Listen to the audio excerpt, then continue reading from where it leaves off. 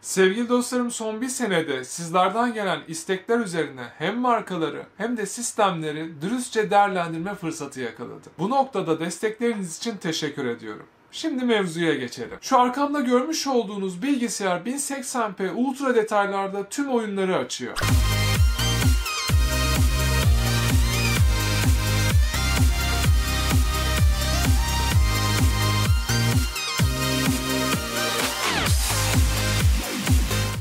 Selam yüksek frekanslar kanalımıza hoş geldiniz. Bugün sizlerle birlikte Gaming Gen TR'nin hazırlamış olduğu sistemi enine boyuna değerlendireceğiz. Acaba seçimleri nasıl? Performans kısmında bizlere neler sunuyor? Hep birlikte göreceğiz dostlarım. Aynı zamanda markayla tanışmış olacağız. O yüzden arkanıza yaslanımda frekans vermeye başlayalım. Öncelikle marka ürünü dev gibi bir kutuyla göndermiş. Aynı zamanda içinde bütün parçalar ve ek destekler mevcut dostlarım. Normalde bazı yerler ekran kartı gibi kutuları sarmadan yollarken patlak poşetle destek vermelerini takdir ettim. Kısaca Gaming Gen TR'den bahsedeyim. Ben de sizlerle birlikte ilk kez deneyimleyeceğim. Bir buçuk senedir sektörde paylaşımları zaten görüyordum. Hatta arkadaşlardan sorular da geliyordu. Amaçları oyuncuların ihtiyaçları doğrultusunda ilerleyip fiyat performans odaklı sistemler sunmak. Daha çok sağlıklı teknik altyapı desteği sunan bilindik marka parçaları tercih ettikleri belli. Daha kaliteli parçalara yöneliyorlar. Bilinmedik marka komponentler ön planda değil. Yakın zamanda da mağaza açacaklarmış. Artık orayı da ziyaret edip sizler için daha detaylı bilgi alabileceğim. Daha fazla bilgi almak istiyorsanız da linki bırakıyorum. Anakartımız MSI'ın B560M Pro'ya modeli. 11. jenerasyon işlemcileri destekleyen kartın teknik verilerini hemen arkada görüyoruz. Siyah ve gri temalı kart da PC Express kanadı metal armorla güçlendirilmiş. Güvenlik açısından bence önemli. Bükülme ve elektromanyetik girişime karşı kartınızı korumakta. 2 adet bellek slotumuz var. En güzel yanı ses ve bellek kanadı izole edilmiş. Yani saf sinyalle daha iyi performans ve stabilite sunabilmekte. İçinde ALC892 ses çipi tercih edilmiş. PC Express 4.0 destekli olsa da NVMe SSD kanadında geniş desteği var. 4 tane faz atıp geçilmemiş bir VRM tasarımı olduğu da belli. Orta seviye bir kartta bu şekilde görmek hoşuma gitse de ne yazık ki heatsink tercih edilmemiş. Daha güçlü işlemci bile ileride bağlayabilirsiniz. Kısaca özenle tasarlanan yapısı dikkat çekici duruyor. Arkada VGA ve HDMI portu olması da bütün monitörleri kullanabileceğiniz anlamına gelmekte. Sadece USB 3.2 Gen 2 desteği yerine Gen 1 olduğunu da eklemeden geçemeyeceğim. Ayrıca ses çıkış kanadı daha basic stereo tercih edilmiş. Bu arada bellek hızı overclockla maksimum 4800 MHz'i desteklemekte. Eleştirebileceğim kısım anakartta RGB pin çıkışı koymuşlar ama pinler yok. Fakat kasada RGB kontrolcü olması durumu kurtarıyor. Bu arada anakartta bir adet fan çıkışı var. O yüzden kasa beraberinde Molex adaptörü de koymuşlar. Cihazda 500 GB 3D NAND Western Digital SSD tercih edilmiş. Görebileceğiniz üzere çok fazla modülle doldurulan ısı yayılımı artacak bir model gibi durmuyor. Belleğe geçtiğimizde 8 GB 3200 CL16 kit tercih edilmiş. Corsair'in giriş seviyesi belleği olsa da ısı dağıtıcılar ve 8 katmanlı PCB yapısı hiç fena durmuyor. Erişim süreleri de epey düşük. Ek olarak düşük profili sayesinde sıvı soğutma takarken ileride problem yaşamazsınız. Ekran kartımız Gaming X modeli. Adından da anlaşılacağı üzere daha kaliteli bilye sistemi sunuyor. Maksimum temas sunan soğutma tasarımı da es geçmemişler. Airflow teknolojisinde hesaba katın derim. Torx 4.0 ile pekişmiş halka tasarımlı fanlar keskin bir görsel zenginlik sunuyor. Metal arka plaka ve çiplere koyulan kaliteli termal petleri de es geçmeyelim. Gelelim güç kaynağına. 650 Watt 80 Plus bronz sertifikası var. DC'den DC'ye devre tasarımı, kısa devre koruması gibi neredeyse tüm güvenlik korumaları mevcut. %85'in üzerinde verimlilik vaat etmişler. Kablo kalitesini beğendim. 12 volt kanal değerlerini de ekrana yansıtmak istiyorum. İşlemci güç çıkışı sadece tek 8 pin tercih edilmiş. İleride güncelleme açısından 8 artı 4 olsaydı fena olmazdı. Fakat tasarım açısından çok çekici buldum. Aynı zamanda düşük gürültü sunan fan tercih etmişler. Kasaya geçtiğimizde kısaca markanın giriş seviyesi 3 fanlı RGB modeli diyebilirim. Önde girintili çıkıntılı bir tasarım hakim. Zaten bu kanalda incelemiştik. Oradan detaylı bir şekilde bakabilirsiniz videoya. Sol kanatta klasik metal kapak, sağdaysa hafif mat temperli cam tercih edilmiş. 9 farklı ışıklandırma efektini öndeki düğme ile kontrol edebiliyorsunuz. RGB kontrolcüye ileride ekstradan da fan bağlayabilirsiniz dostlarım. Yalnız kablo yolları kauçuk değil ve alttaki toz perdesi sürgülü olsaydı daha iyi olurdu. Cam haznesinde kauçuk hatlarının olması izolasyon için iyi düşünülmüş. Vidalarda da aynı anlayış hakim. Önde power, reset, USB ve ses çıkışları var. Aslında ideal başlangıç kasalarından bir tanesi. Gelelim işlemciye. Intel tercih edilmiş ve beraberinde siyah çok kalın olmayan stok fan tercih etmişler. Genel olarak şık ve çekici bir hava sunan kasayı geceleri tek bir tıkla kontrol edebilmek hoşuma gitti. Işık modları arasında dolaşırken dilerseniz kapatabilirsiniz. Bence kasa ve ekran kartı kanadı masada şık bir hava katmış. Bilmiyorum sizler nasıl buldunuz? Lütfen yorum olarak bırakın. Şimdi gelin en heyecanlı kısma geçelim. Performansı nasıl? Dostlarım şu anda en güncel BIOS kurulu. Şöyle ayarlara baktığımızda PC Express kanadında mutlaka Resizable Bar'ın aktif olduğundan emin olun. XMP profilimiz aktif. Bellekler 3200 MHz hızlarda çalışacak. 3466 MHz hızları da zorlayabilirsiniz. Hatta daha güvenli olan 3333'ü de kullanabilirsiniz. Bu şekilde sistemi başlatacağım. Kısaca parçaları tekrardan tanıyalım dostlarım. 4.4 GHz hızlara çıkabilmekte ve 6 çekirdek 12 izdek yapısıyla da günümüz beklentilerini karşılayabilir. Şimdi 65 Watt TDP değeri sunan bu işlemcide testlere baktığımızda 3600X gibi AMD'nin Ryzen 5 kanadı güçlü işlemcisini tek çekirdekte affetmiyoruz. Çoklu işlemde haliyle Cinebench'te geride kalsak da piyasada gırla dolaşan 3500X'i affetmiyoruz. Aslında tam 1080p oyun işlemcisi diyebilirim. Geekbench çoklu işlemde ne hikmetse işlemci puanı 3600X'ten daha yüksek çıktı. Tabi AMD testleri çok önceden almıştım. Şu anda aynı işlemciler elimde yok. Bu da bana sadece oyun değil, 1080p yayın açarken de iş görebileceğini gösteriyor. Aynı zamanda günlük işler ve ufak çaplı kreatif işlerde de 16 GB bellekli bu sistemi değerlendirebilirsiniz.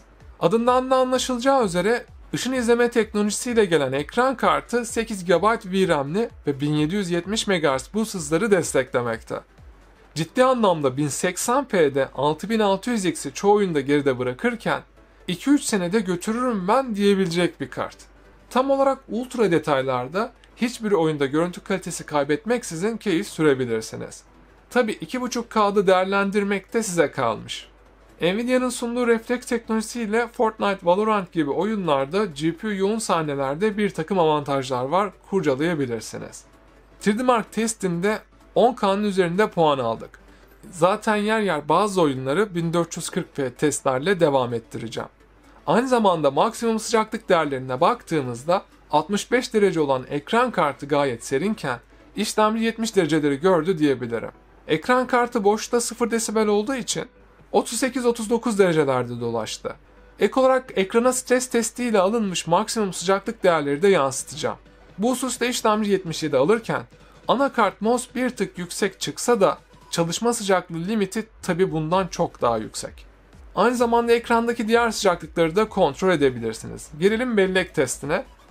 En mükemmel sonucu burada aldık. Normalde 30 civarı veren sistemlerin aksine 34 genişliğe kadar çıkabilmek programlarda daha hızlı bir sistem kullanıyorum avantajını sizlere hissettirecektir. En azından zamandan tasarruf açısından önemli. Gelelim SSD'ye. 2350 civarı okuma ve 1900 yazma değerlere ulaşabildi. Bir oyuncu için fazlasıyla yeterli. Sıcaklık ölçümlerinde rahatsız edici seviyelere ulaşmamak sevindirdi. Sistemde çok hoşuma giden şey 3 fan olmasına karşın aşırı sessiz oluşuydu. Yük altı ve boşta sadece 3 desibel oynuyor. Normalde bazı kasalarda 5 desibel ve üzeri gördüğüm oldu. Gelelim anakartın ses çipine. Ses kalitesi fena sayılmaz. Aynı zamanda yüksek omajlı kulaklıkları besleyebilecek potansiyelde. CSGO testinde ultra detaylarda 1440p'de özellikle sizler için test etmek istiyorum. İşlemciye de yüklenen bir oyun olduğu için değerlere iyi bakın. Ciddi anlamda 400 FPS'nin üzerine çıkabilmek şaşırttı. Ek olarak Wolfenstein oyununda RTX Active 1440p ultra detaylara baktığımızda yine tatmin edici bir performansla karşılaşıyoruz.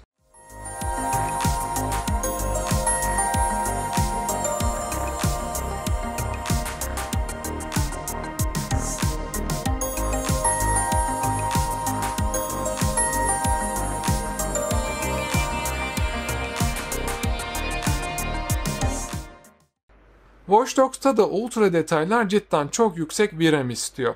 Sınırda kaldık diyebilirim.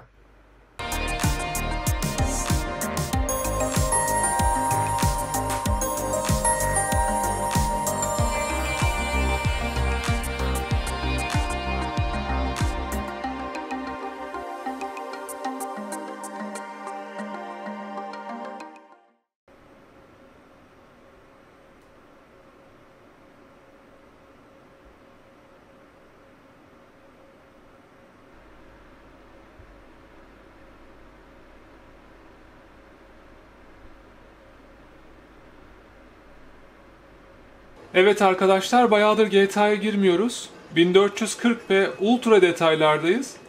MSA X8. Bu şekilde başlatacağım. Online'dayız şu anda. Araç lazım. E sen de gel. Hadi baba. Göreve doğru gitmemiz lazım. Ne güzel adamlar motoru aldı. Hızlıca gittiler ya. Biz de en kötü araca bindik. Dönebilirse iyi. Aa çok kötü ya. Oha polis geldi.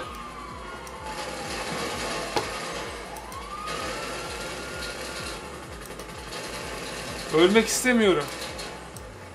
Araç bitmiş ya. Ne yapacağız biz? Abi burada bile polis var. İnanamıyorum. Valla attım kendim aşağı. Şu aracı çalmamız lazım. Ben bunu çaldım. Sıra sende dostum. Valla ben gözden kaybolacağım. Umurumda değilsiniz. Bastım gidiyorum.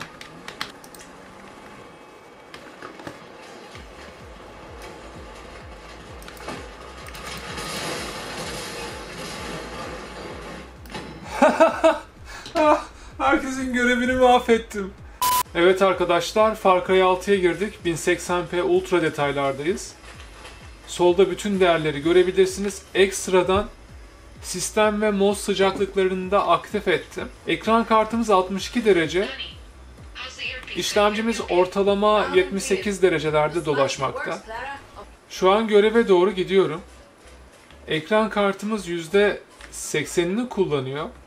Bu noktada benim size tavsiyem çözünürlüğü arttırmak olacaktır. Bu arada yer yer %83'e 85'e düşüşler oluyor. Onunla alakalı da ayarları kurcalamanızda fayda var. Şöyle gösterelim. Ultra detaylardaydık. Şunu TA yapalım. Bunu fullleyelim. DXR'ı aktif edelim.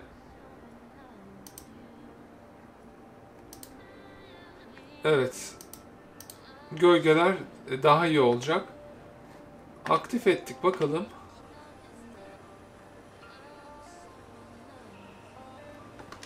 Görebileceğiniz üzere otomatikman 90 FPS'de ekran kartının full potansiyelini 1080p'de alabiliyoruz. Ufak tefek oyunlara özel ayarlar yapmakta fayda var. Hemen peşin hükümlü olmamak lazım. İlerleyelim. Galiba görevi tamamladık. Görev tam olarak bitmemiş. Ortalık karıştı. Aa ölmedi adam.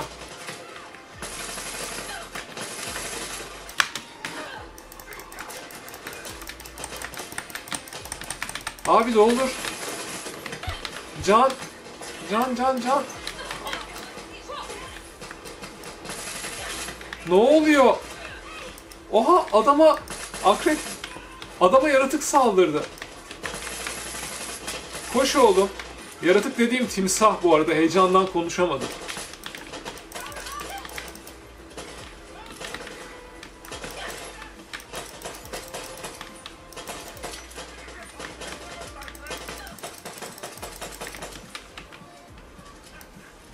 Ye onu. Vallahi yedi.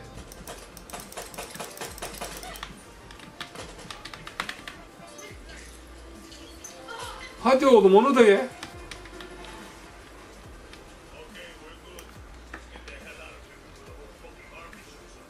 Vay be. Bu ne kadar tatlı bir şeydir. Herkesi öldürdü. Evet arkadaşlar şu anda Cyberpunk'a girdik. Ray Tracing Ultra'da ışın izlemenin nimetlerinden faydalanmak istiyorum. DLSS'e geldiğimizde bunu da ben kalite modunu almak istiyorum. Bakalım 1080p'de performansımız nasıl? Görebileceğiniz üzere 70 karedeyiz. 54'e kadar düştü. Tabi bu sahneler arası farklılık da göstermekte. Nereye gittiğimi bilmiyorum. İlerleyelim bakalım. Tam bir şeyim ya. Maganda kurye. Getirden geliyorum. Gelin. Siparişiniz hazır.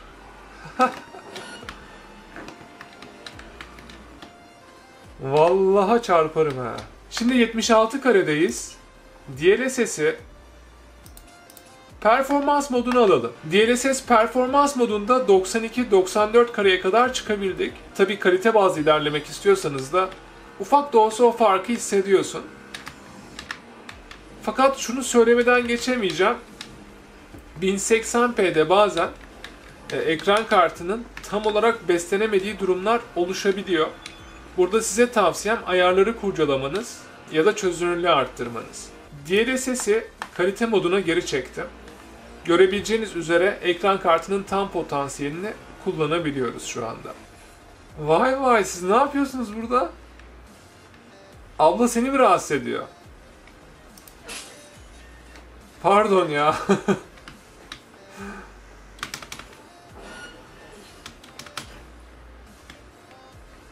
Vallahi lağım çukuruna düştük. Uf, görüntü kalitesi çok iyi ya. Yani şöyle söyleyeyim. Tabii kalkıp da çoğu arkadaşın 20k bütçe çıkabileceğini zannetmiyorum ama ultra detaylar arayanların en azından sınırları zorlayabileceğini düşünüyorum. Şimdi piyasa da çok değişken. Yorumlarda bazen rast geliyorum. Diyor ki arkadaş bir ay önce bu sistem şu kadardı. Ama o bir ay önceydi. Ya da iki hafta önce şöyle bir kampanya yapıldı. Evet bu tarz şeyler olabiliyor. Burada tercih her zamanki gibi size kalıyor. Şimdi 20.000 TL civarı 3060'lı sistemler gırla dolaşmakta. Hani onu mu almak, bunu mu almak diye insan ister istemez kendisine soruyor. Alternatif işlemci ve kasa modelli sistemler yok mu? Tabii ki var. Fakat dediğim gibi 3060 Ti ciddi anlamda bize performans anlamında sınırları zorluyor. Burada sistemleri değerlendirirken en büyük etmenlerden bir tanesi de güç kaynağı oluyor ve güç kaynağı ciddi anlamda başarılı. Ek olarak GPU modelinin de performansı yatsın ama. Şayet 1080p'de akmak istiyorsanız bakmanızda fayda var. Ben ekstradan linki açıklamaya bıraktım oradan sizler de temin edebilirsiniz. Bu arada kargolama süreci yeterince hızlı. Sizler için ekstra olarak şunları sordum. Şimdi arkadaşlar temin ettiğinde, problem yaşadığında ne oluyor? Mümkün mertebe çözüm odaklı ilerliyorlarmış. Bu noktada hani başınızın ağrıyacağını zannetmiyorum. Evet ben elimden geldiğince tüm şeffaflığıyla her şeyi gösterdim. Bugünlük de videomuzun sonuna geldik. Bir sonraki videoda görüşmek dileğiyle. Hoşçakalın. Paylaşıp destek olmayı da unutmayın.